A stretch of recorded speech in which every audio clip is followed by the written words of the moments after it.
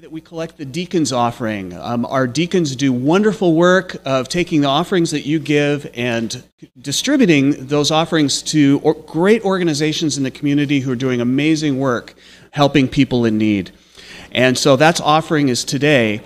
And we have a new organization that we've support, we're supporting now called Housing Hope. And we have the joy today of having Joan Penny here from Housing Hope, and she'll be speaking to us a little bit later in the service. Um, Joan is the Senior Director of Resource Development, Marketing, and Communications at Housing Hope, um, and they do amazing work, and we look forward to hearing more about that.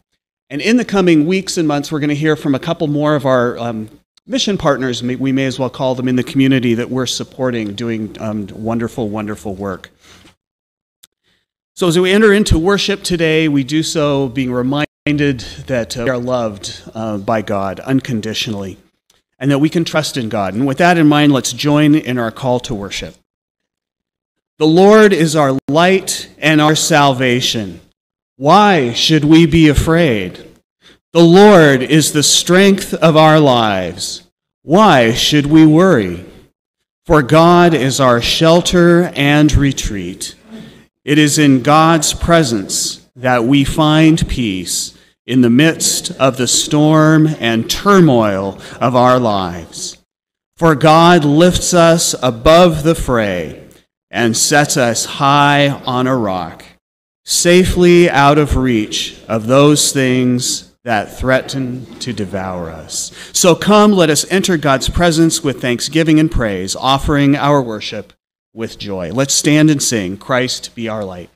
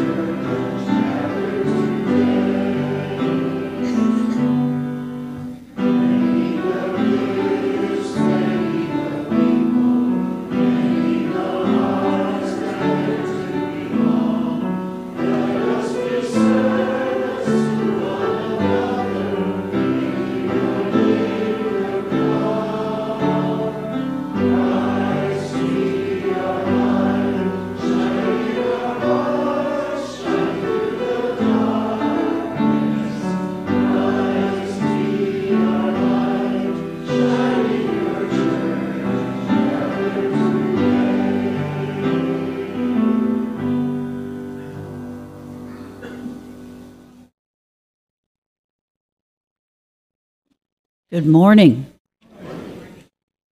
Please join me in the prayer of praise, which is printed, of course, or up there. O living God of past and future, we praise you for this present moment. Help us to enter into it fully.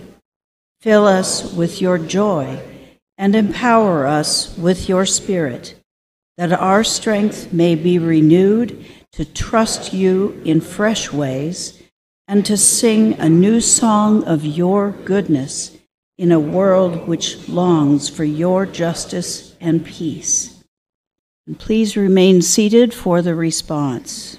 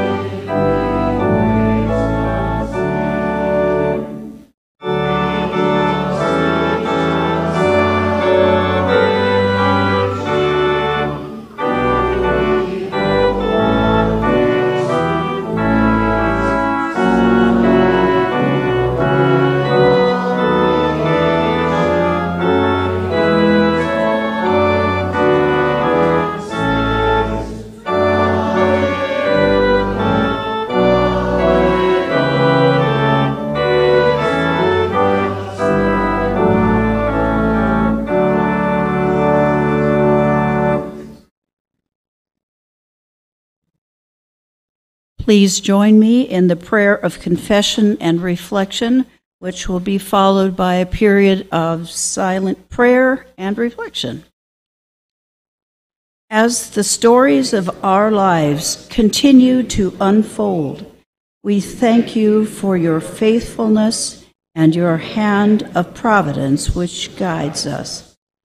At the same time, we confess that we often take lives into our own hands, creating storylines that are not true to who we are, out of fear or distrust of your goodness. Help us to relinquish fear and false narratives and listen to your voice of truth and goodness.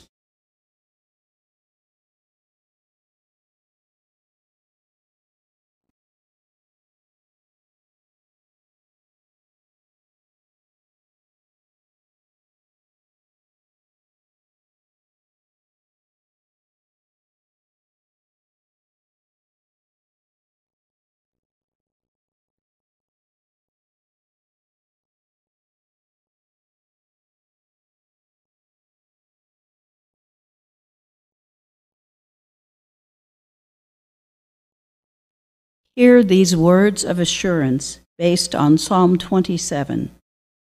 Beloved, we can be confident of this. We will see the goodness of the Lord in the land of the living. Wait for the Lord. Be strong and let your heart take courage. Wait for the Lord, for God showers his people with mercy and grace. Know the forgiving love of God. Be at peace and love your neighbor as yourself. Thanks be to God. And now, if you will join me in passing the peace to those around you, in whatever manner both of you are comfortable.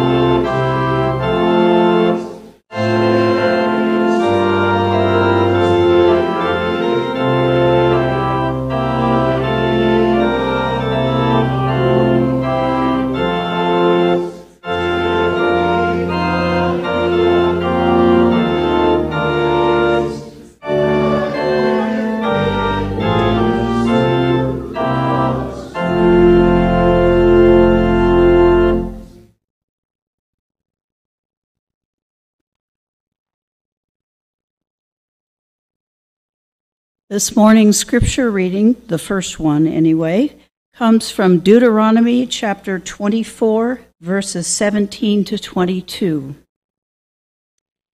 You shall not deprive a resident alien or an orphan of justice. You shall not take a widow's garment in pledge. Remember that you were a slave in Egypt, and the Lord your God redeemed you from there.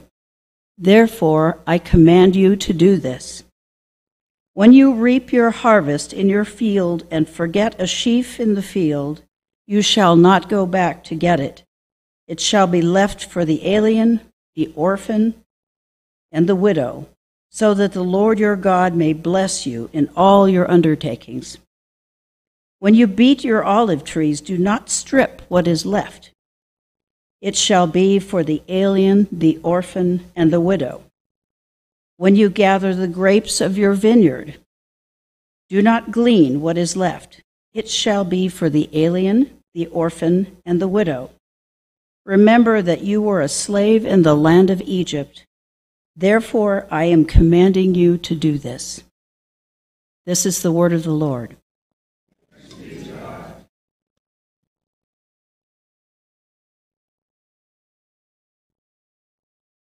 Thanks, Sherry.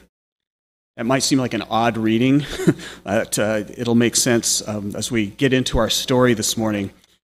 And our series this uh, summer for the few weeks is um, looking at some of the stories of maybe the lesser known characters of the Bible and how their story and our story might intersect in some ways, and we can learn some things from their story. And today we're looking at Ruth. This is a delightful short story nestled in, in between the book of Judges and 1 Samuel in the Old Testament. And it's a bit of a challenge to cover the entire story in one sermon, so I'm going to take one particular angle on it and invite you to read the entire story sometime this week. It's only four chapters long and takes about 20 minutes to read at a leisurely pace. So see what God brings to your attention as you read it. But the setting here is the time of the judges. So this is about 1500 BC. Uh, this was a turbulent and somewhat lawless time in the history of Israel with some really bad characters in leadership. Uh, there were a few good ones, but mostly the book of Judges shows us several good examples of bad examples of leadership. Yet how God worked things out anyway. And it was a chaotic area, which is described in the very last verse of the book of Judges this way. So here's how the book of Judges ends In those days, there was no king in Israel and all the people did what was right in their own eyes. Sounds like a great time, huh? now, given that context, the story of Ruth, which then comes next, provides a quiet, out of the way contrast to the chaos of those decades. It's a story of faithfulness, both God's faithfulness and human faithfulness, a story of deep loyalty on the part of Ruth, and it's a story of providence, of God working all things together for good amidst the pains and changes of life. And we'll see that it has a surprise ending, which highlights the providential nature of the story in an amazing way. So I'll be reading uh, chapter 1, verses 1 to 22. I'm not going to read all of those verses, um, and then I'll fill in the rest as we go. So this is Ruth 1, 1 to 22.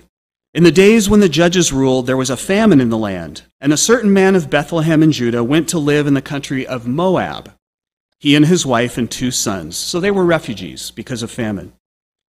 The name of the man was Elimelech, and the name of his wife was Naomi. And the names of his two sons were Mahlon and Chilion, and they were, they were Ephrathites from Bethlehem in Judah. They went into the country of Moab and remained there. But Elimelech, the husband of Naomi, died, and she was left with her two sons. These two, her sons, took Moabite wives. The name of one was Orpah, and the name of the other, Ruth. When they had lived there about ten years, both Mahlon and Chilion also died, so that the woman was left without her two sons and her husband. Then she started to return with her daughters in law from the country of Moab, for she had heard in the country of Moab that the Lord had considered his people and given them food. So she set out from the place where she had been living, she and her two daughters in law and they went on their way to go back to the land of Judah. But Naomi, Naomi said to her two daughters in law, Go back, each of you, to your mother's house. May the Lord deal kindly with you, as you have dealt with the dead and with me. The Lord grant that you might find security, each of you, in the house of your husband. Then she kissed them, and they wept aloud. They said to her, No, we will return with you to your people. But Naomi said, Turn back, my daughters. Why will you go with me? Said, My daughters, it has been far more bitter for me than for you, because the hand of the Lord has turned against me. Then they wept aloud again. Orpah kissed her mother in law, but Ruth clung to her. So Naomi said, See, your sister in law has gone back to her people and to her gods. Return after your sister in law. But Ruth said, Do not press me to leave you or to turn back from following you. Where you go, I will go. Where you lodge, I will lodge. Your people shall be my people, and your God, my God. Where you die, I will die, and there I will be buried. May the Lord do thus and so to me, and more as well, if death parts me from you. When Naomi saw that she was determined to go with her, she said no more to her. So of the two of them went on until they came to Bethlehem. When they came to Bethlehem, the whole town was stirred because of them, and the women said, Is this Naomi? She said to them, Call me no longer Naomi, call me Mara, for the Almighty has dealt bitterly with me. The word Mara in Hebrew means bitter. So she gives herself a nickname, Mara, bitter. I went away full, but the Lord has brought me back empty. Why call me Naomi when the Lord has dealt harshly with me and the Almighty has brought calamity upon me? So Naomi returned together with Ruth, the Moabite, her daughter in law, who came back with her from the country of Moab. They came to Bethlehem at the beginning of the barley harvest. This is the word of the Lord. Thanks be to God.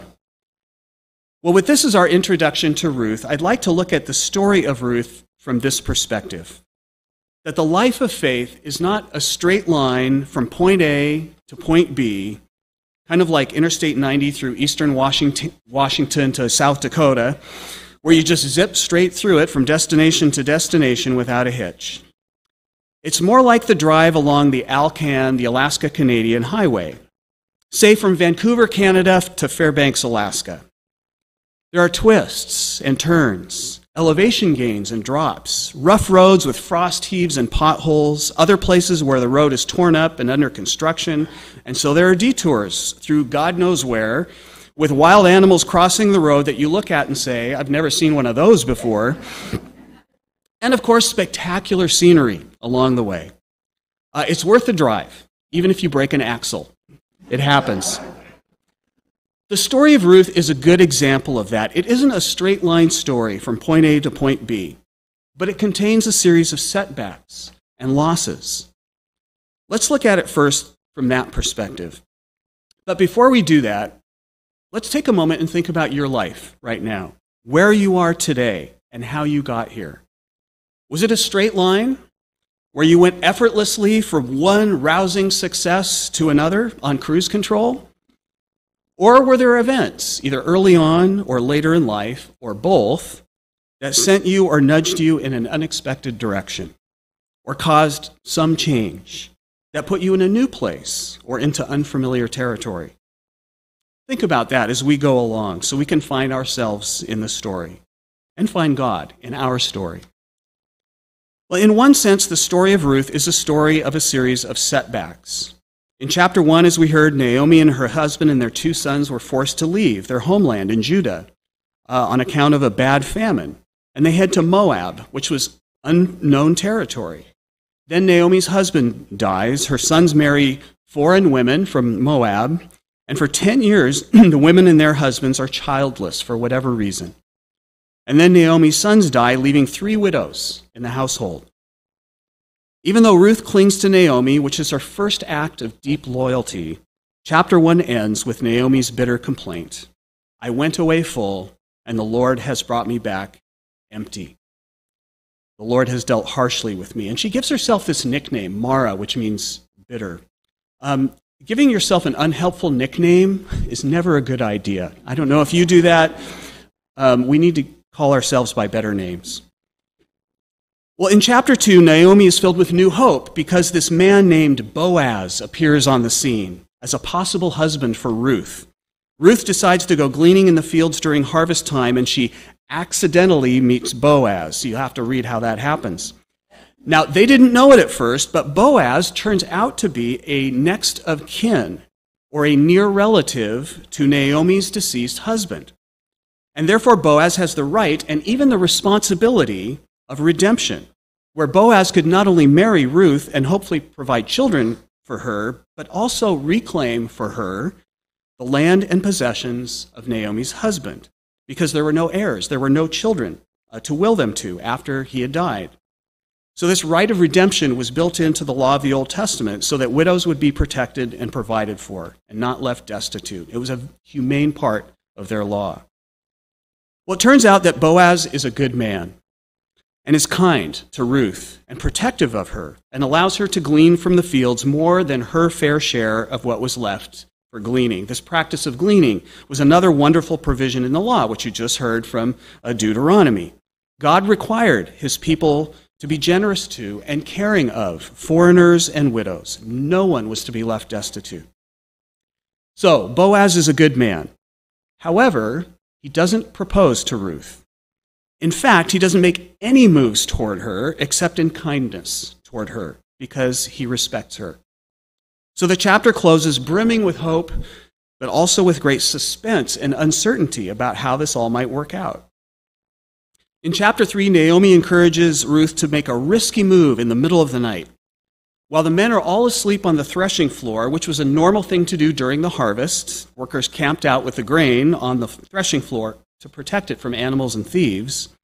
Naomi tells Ruth to go in the middle of the night and lie down at Boaz's feet in the middle of the night. Now, this is not an act of seduction, as one might assume. If it was an act of seduction, she would have laid down next to him, at his side, right? Not at his feet. Laying down at someone's feet was actually an act of humility, and it took the posture of a servant. So she goes, and she lays there. And although Naomi told her to wait until Boaz said something, Ruth takes the initiative. And when Boaz, Boaz awakens in the middle of the night, somewhat startled that there's this person lying at his feet, she says to him, Spread your cloak over me. Which is to say, in effect, I want you to spread your wing over me as my husband. Or, to put it bluntly, I want you to ask me to marry you. A somewhat bold and risky move on Ruth's part. But right when the tragedy of Ruth's widowhood seems to be resolved in, into a beautiful love story, a huge detour sign has appeared in the road in Ruth's life, and it looks like she isn't going to get through it or around it. Because, as it turns out, there is another man who, according to Hebrew custom, has prior claim to marry Ruth because he is a closer relative to Naomi's husband than Boaz is. So the impeccably honest Boaz will not proceed without giving this other man his lawful opportunity. And chapter 3 ends again in the suspense of another setback. Or so it seems. After the midnight rendezvous in chapter 3, Boaz goes to the city gate where official business was conducted. The nearer kinsman comes by, and Boaz lays the situation before him. Naomi's giving up what little property she has, and the duty of the nearer kinsman is to buy it so that the inheritance stays in the family, and so that Ruth and Naomi are provided for. And to our dismay, the kinsman says, I will redeem it. Oh no, we don't want him to redeem it. We want Boaz to do that. So again, there seems to be a setback. And the irony of this setback is that it is being caused by honesty and goodness. This fellow is only doing his duty. Actually, everyone in the story is acting honorably. Sometimes the Alcan Highway is clogged up not with boulders or bears or landslides, but with good workers only doing their duty. Our frustrations are not always caused by tragedy or by wrongdoing, but also by, apparently, ill timed goodness and honesty. So, just when we're about to say, oh no, stop the story, don't let this other fellow marry Ruth, Boaz says to this nearer kinsman, oh, by the way, Remember Columbo, the detective Columbo?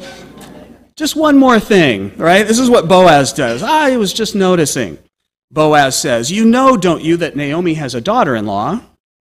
So when you do the part of the kinsman redeemer and claim the family property for her, you must also take Naomi's daughter, in law as your wife and raise up offspring in the name of her husband who has died. You knew that, right? Uh, no, actually, I didn't know that, he says. Then, to our great relief, the kinsman says, I can't do it. He already has a family he is obligated to, and to marry Ruth would cause complications and distress in his family, even though taking a second wife in those days was allowed. So he declines. Again, an honorable move.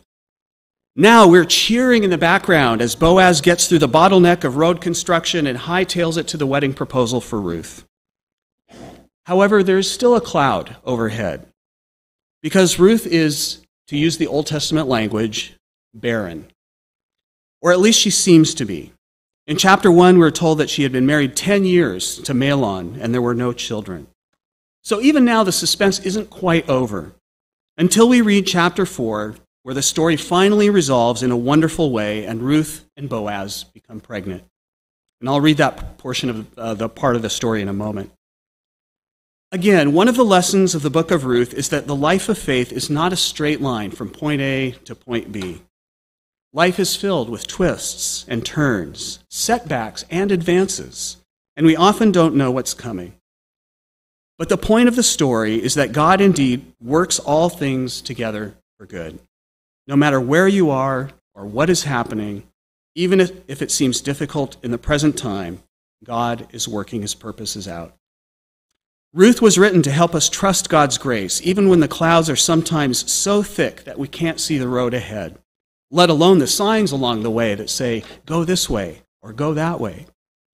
This is the other great lesson of Ruth to show us that it was God who acted to turn each setback into a stepping stone to joy, and that it is God in all of our painful experiences who is working everything out for good in the bigger picture of things in the long run.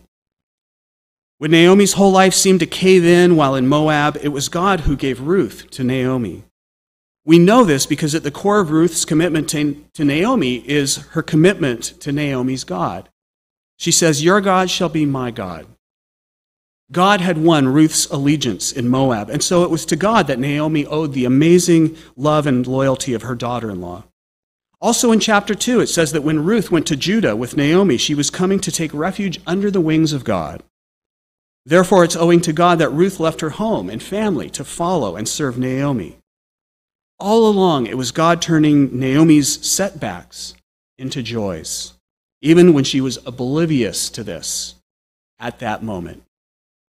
And although Naomi gives the impression that there's no hope that Ruth could marry and raise up children to continue the family line, all the while, God is preparing a good man named Boaz to do just that.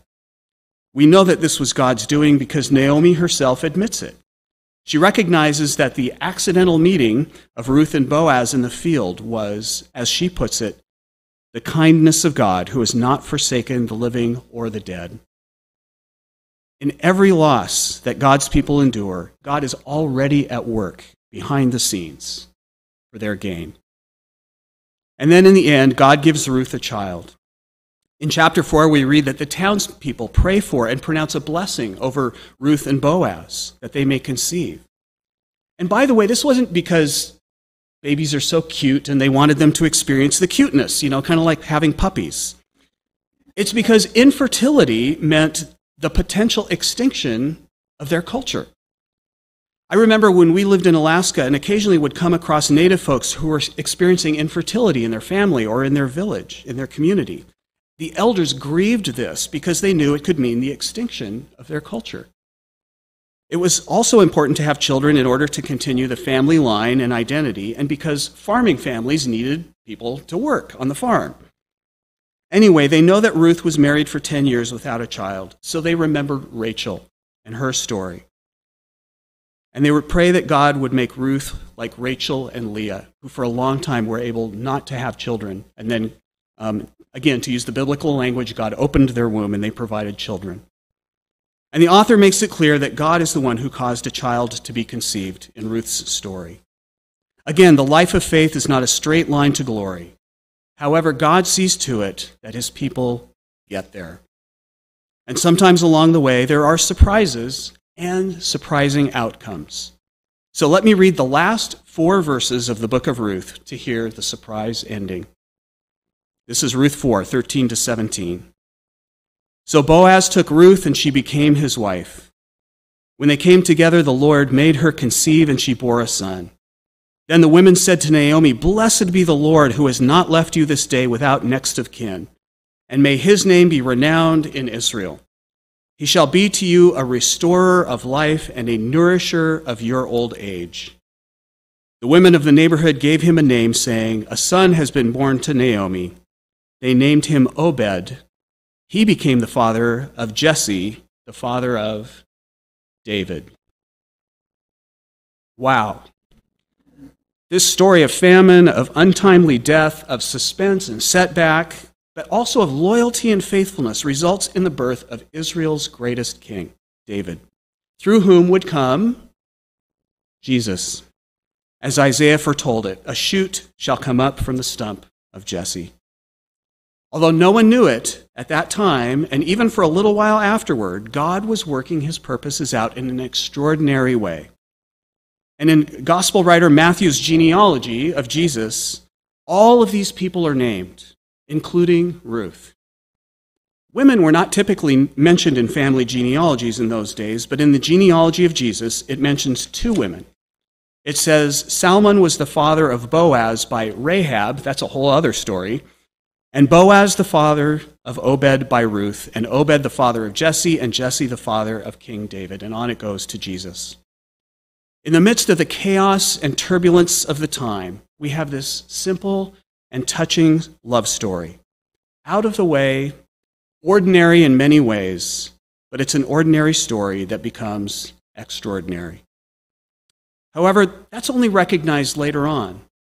Ruth, Naomi, Boaz did not see the significance of their role in the moment, at that time, but they stayed faithful to their parts. And this is my final takeaway for us from the story of Ruth. Sometimes we don't know what the end result or outcome of our lives might be. Often it's only seen in hindsight. So, this is why faithfulness today is so important in the little things, because God uses all the parts and pieces of the story of our lives to produce good for the future, including our faults and failures, as well as our strengths and successes. God uses all of it to produce good for the future, even if it's a future we won't see in our lifetime. Friends, no story is too small, no life is too insignificant.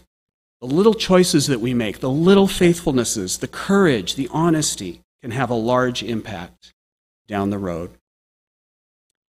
Well, because of the kind of Christmassy ending of this story, I wanted to sing a carol this morning. So here's a lively and hopeful Advent song titled Awake, Awake, and Greet the New Morn. We sing it every Christmas season, and I wanted to sing it today, um, and you're going to enjoy it. So let's stand and sing Awake, Awake, and Greet the New Morn.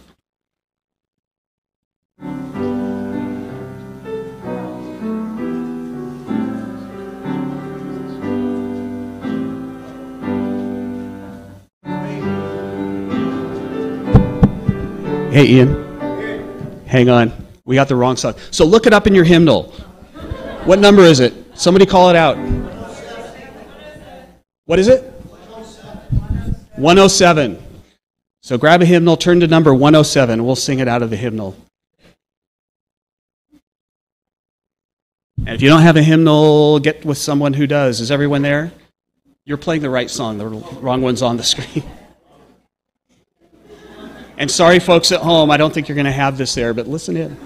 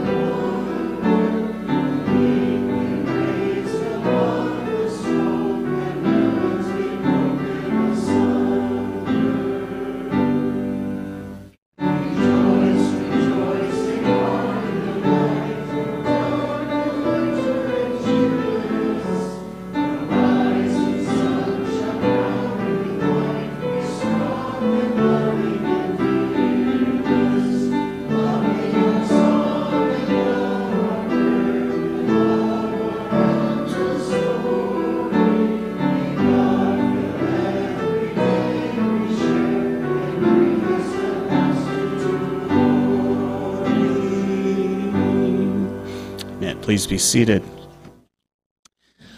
Uh, again, let me introduce uh, Joan Penny, um, the Senior Director of Resource Development, Marketing, and Communications at Housing Hope. We love hearing from our mission partners, and so we're glad, so glad, Joan, you could be with us today and look forward to our new partnership with you.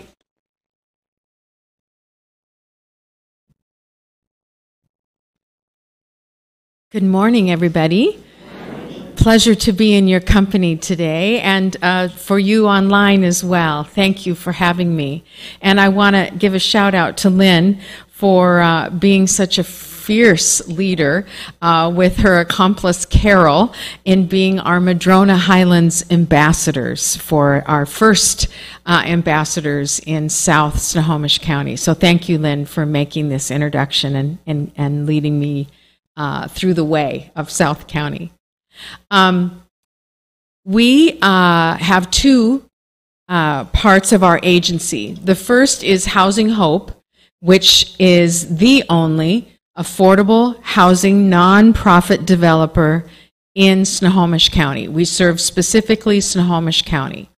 And we do all affordable housing, multifamily, all across uh, the county. We do small integrated settings like Madrona Highlands, which will be 54 units of housing. And the reason we do small and integrated is that we know in social sciences that people do better when they're integrated in a variety of incomes versus isolated into areas of poverty. So that's really an important part of our formula. And we know when we welcome our community members and family members out of homelessness and into housing, it just starts with housing. And so the second part of our organization is about skills and employment. And you'll see HopeWorks up there. We create pathways to self sufficiency um, through social enterprises that provide hope and training. And right now we have four different social enterprises that all of our tenants and actually anybody experiencing homelessness, even if they're not in our units uh, or not necessarily even homeless, are looking for direction. These are free services. And the four enterprises we have are Groundworks, which is our, um, let me see, the next slide might have that one there. Yeah, we'll start with this one. This one's Tomorrow's Hope. Childcare. We provide childcare services for families with lower incomes. We also train people to become certified in childcare. During COVID, Snohomish County lost lost 1600 childcare spots. So we are in a deficit for childcare. And what more important thing than to embrace our young children and help them escape the patterns of poverty that we have in our culture? So, this is a really important part of our mission. And um, so, that's tomorrow's hope. Um, you can see some data there. This other one is, yep, 86% of our children at Tomorrow's Hope, ages birth to five, have showed developmental improvement, and that's a big deal. They just don't show up and play all day, but we also do a lot of teaching and nourishing and caring for them and their parents. It's very important to help break that cycle. The next um, social enterprise we have is Renew Home and Decor. It's a beautiful store. It's on Broadway in Everett. Um, and we teach retail skills. We take slightly used furniture and the trainees learn how to fix furniture, how to repair it, clean it, how to do the retail side of it, how to have social integration with people when they come in. And by the way, in each of our social enterprises, there's a it's a 12 week program. And the first six are about self, self efficacy, self esteem, um, financial literacy, how to be a good renter, how to live on a budget, how to find the different resources. And so many of our comments when we do graduation uh, are based on um, that portion. People expressing, and it's a very different, it's a very diverse range of ages, but people expressing a sense of worth, self worth, that they'd never been told before that they had value. They'd never been told before that they had value or purpose. And so those 12 weeks of uh, training in each of our social enterprises are very important. Uh, this is Tina. She's the director of our store. She overcame a long uh, history with heroin addiction, and her family, as well as her personally, she was able to escape all that. Is now a director of our store and helps and uh, teaches others that they can find the way as well. She's a she's a force. Let me tell you, she's found her way and her voice, and uh, is doing great things for that social enterprise. The next slide. Groundworks, that's our landscaping uh, company. We also have that 12 week course in landscaping, and so they can learn a trade and get back out into the workplace. We'll do the next one. Here's a before and after. We love before and afters. We'll go ahead to the next slide, please.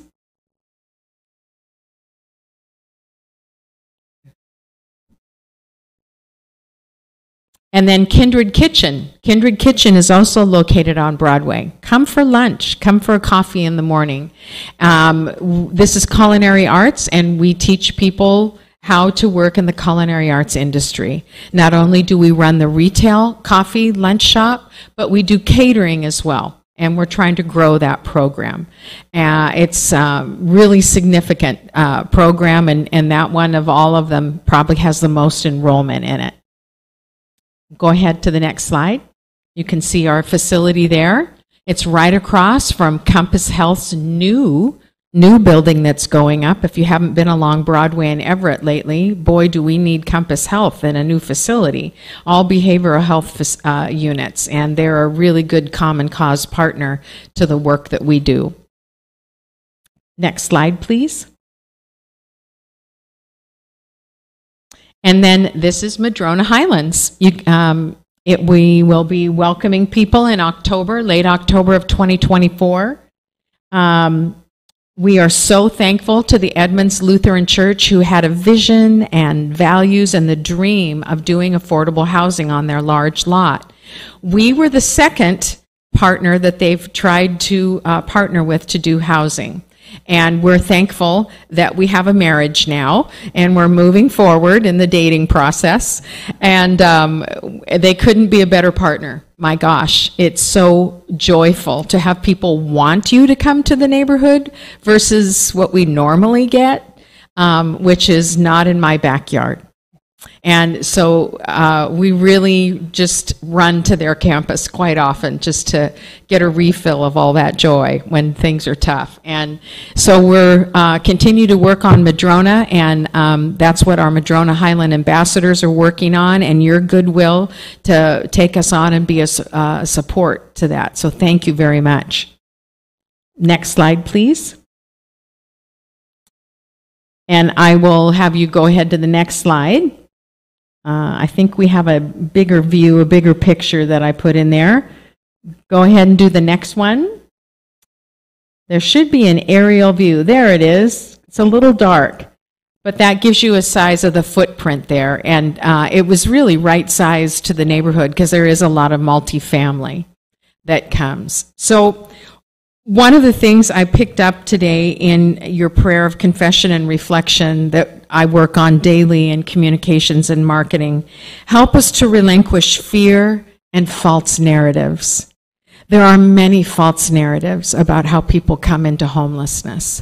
There can be a lot of judgment, and everybody comes to homelessness in a very different way. It, the stories are so diverse. But the number one issue that our mission leans into is the fact uh, in the Pacific Northwest and actually the whole West Coast, homelessness is higher than the rest of the United States by 12 to 15 percent. And the reason that is, is because of the marketplace. Number one, we have a housing shortage. If you read the book that Gregg Colburn, uh, who's a doctorate out of the University of Washington in real estate and studies, wrote, It's a very profound read on causation. And specifically, you can take cities like Detroit. Detroit has probably some of the highest poverty in the nation, but they do not have a homelessness problem because they have shelter. Now, it's not always great shelter, but they have housing. It's accessible, it's affordable. We don't have the luxury of a large surplus of housing or a diversity of housing. The single family home by large in all of our municipalities remains the most common by 80% of any type of housing stock. So we advocate not only for smaller in, um, integrated multifamily, but duplexes, fourplexes, townhouses, where people can have a much more realistic um, uh, opportunity to afford to live here. It's very expensive. Um, and so the narratives of people that we see are really mostly people who are priced out of the marketplace. Colburn, in his book, also looks at addiction and behavioral health. And true to his data, which is national, we only have about 18 to 20 percent of the people we serve are would be considered in that category. Uh, and they're, they're valid, powerful stories. We often see people in addiction and behavioral health issues on the streets, and so people connect that with the majority of people experiencing homelessness. And it's actually not the entire narrative. The financial shortfall is the most accurate narrative for where we live. Um, the fastest growing fastest growing population of people experiencing homelessness are unaccompanied women 65 years and older. Unaccompanied women 65 years and older. Their Social Security, I know it's your sister sitting right next to you. Um, it's me, it's, it's anybody in that, in that age category. Social Security cannot compete with this inflated marketplace. And you can't you just can't make your budget come full circle when rents are actually higher than most mortgages. That is detrimental.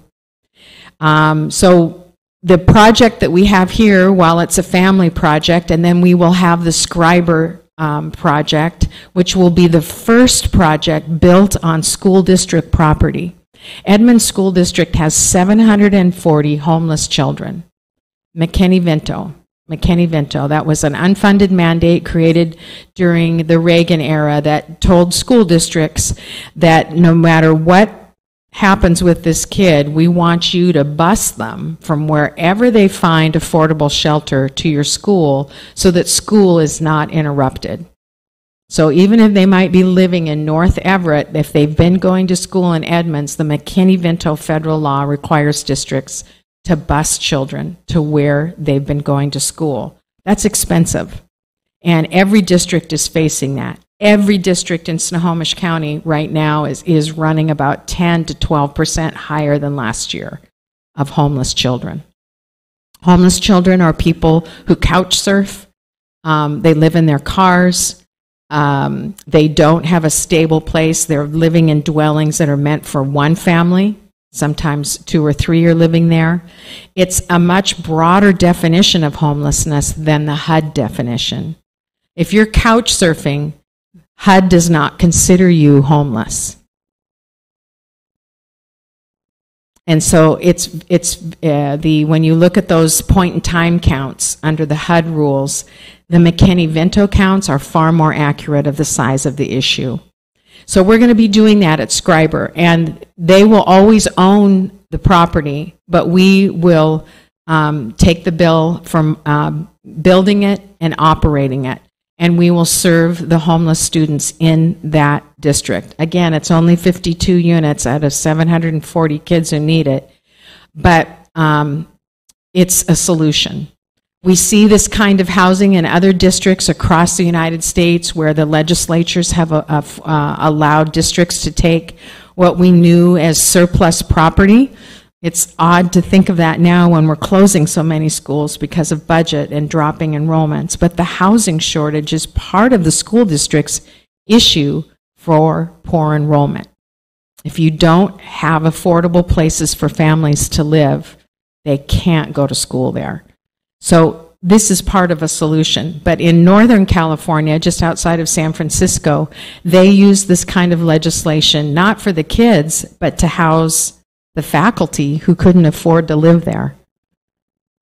And that's called the Shirley Chisholm Learning Community. Remember um, Shirley Chisholm and her great work in um, uh, our federal uh, organizations. But so we're, we try and stay nimble in this work because solutions come in different ways. If there were only one way to get through this, we'd be all over it. But there's people come to homelessness in different ways. And so our solutions must stay nimble and flexible and be open to what is what people are experiencing. And that's how we work. It's not a straight line, as you were talking earlier. It's a zig and a zag of uh, how to get people out on their own and on their feet. And it's it's not easy work, but it's the most important work of our time right now as homelessness grows, not only across the United States, but worldwide. People are experiencing this worldwide. I, I read all kinds of things every day in the media, and it's very interesting how different countries approach it. But you, you are all part of the solution. You're leaning in.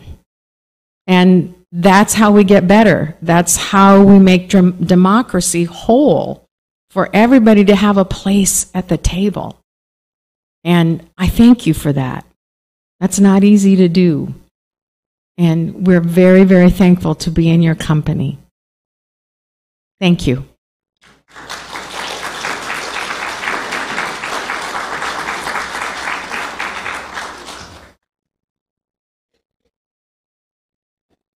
Thank you so much, uh, Joan. We're learning so much, and we look forward to continuing to learn and to um, partner and be helpful in whatever ways we can.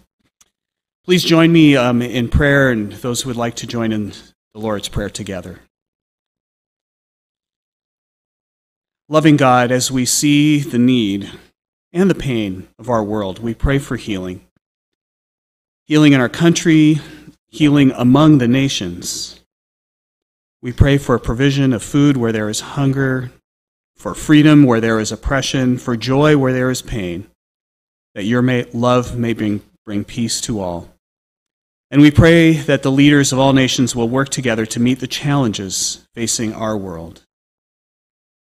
Loving God, we thank you for the joy of human love in the bonds of family and friendship. And on this Father's Day, we thank you for fathers and all of those involved in our upbringing men who nurtured and provided for us. Continue to strengthen and, where needed, heal human bonds of love in families and friendships across the generations. Comforting God, we pray for those saddened by the death of someone close and dear to them, either recently or at this time of year. Help us to experience the comfort of your Spirit within us and the support of the church family around us until we are reunited once more in your heavenly kingdom. Merciful God, when our lives feel out of sorts because of illness or other problems, help us to experience your presence, which is peace. In this time of prayer now, we lift to your light and presence those who need our prayers today. So hear us as we lift up people, whether in the silence of our hearts or out loud, in need of your grace.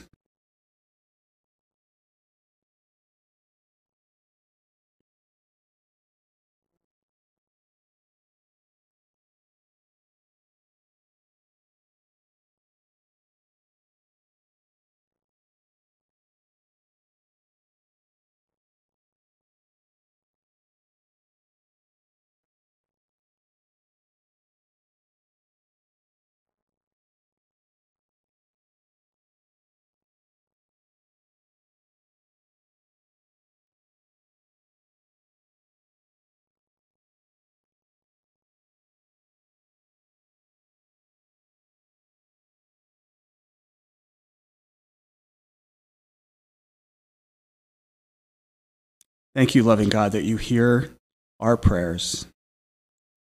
And now, gracious God, help us to be more aware of your presence and help us to trust in you more in all that we do in the week ahead. We pray with thanksgiving in the name of Jesus, who taught us to pray together, saying, Our Father in heaven, hallowed be your name. Your kingdom come, your will be done, on earth as it is in heaven. Give us this day our daily bread, and forgive us our debts, as we forgive our debtors. And lead us not into temptation, but deliver us from evil. For yours is the kingdom, and the power, and the glory, now and forever. Amen. Now sing a beloved song of faithfulness. Great is thy faithfulness.